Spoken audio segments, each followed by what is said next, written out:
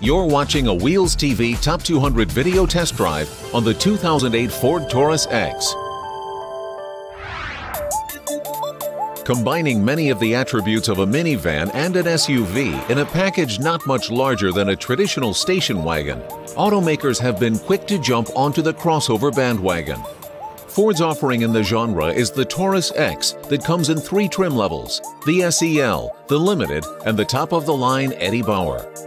The family resemblance is clearly visible from the 3-bar horizontal front grille and high belt line to the 17 or optional 18-inch alloy wheels. But the real story is the overall size as compared to a traditional SUV. The Taurus X is nearly 10 inches lower and 21 inches shorter than its full-size big brother, the Ford Expedition, and it still offers seating for six or seven adults. There is one engine transmission package available across the model line, a 3.5-liter 263 horsepower V6 connected to a 6-speed automatic transmission. Buyers can choose between the standard front-wheel drive and optional all-wheel drive that also comes with traction and electronic stability control on all models. Braking for all models is provided by four-wheel discs with ABS.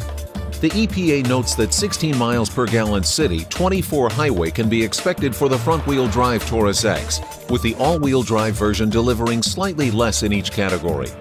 Functionality is equally important on the inside, as a feature shared by all models is the fold-down front passenger seat that in combination with fold-flat second and third row seating allows for maximum flexibility of the available 85 plus cubic feet of cargo space.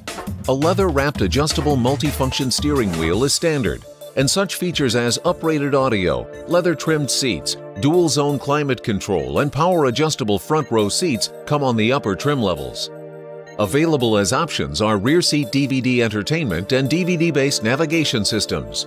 MSRP for the Taurus X ranges from $26,615 for the SEL to $28,970 for the Eddie Bauer model and each comes with a 3-year 36,000-mile warranty.